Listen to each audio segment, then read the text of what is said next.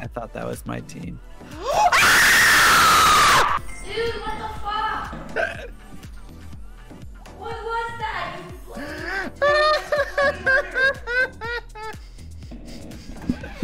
oh, that was a great death.